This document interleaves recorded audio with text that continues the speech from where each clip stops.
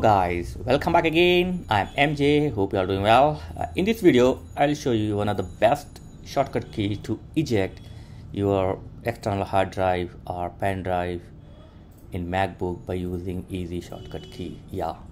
So here i have attached my pen drive to macbook and i have copied something from macbook to pen drive. And now i want to remove it safely.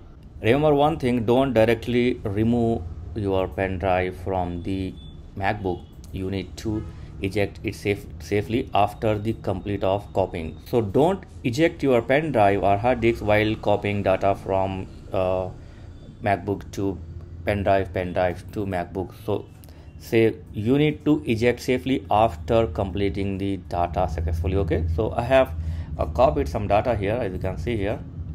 Let me add something okay this one. I'm going to add it. Now copy is complete. Now i want to eject it.